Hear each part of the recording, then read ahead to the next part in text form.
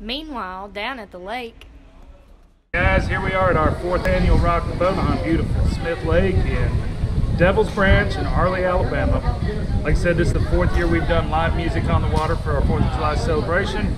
This year will be the second year we've added fireworks. This year's fireworks will be set to music. It's going to be a good time. It's about 3.30 and you can see the boats are already starting to roll in. Music's going to start in a couple hours and we're just going to have us a good old party.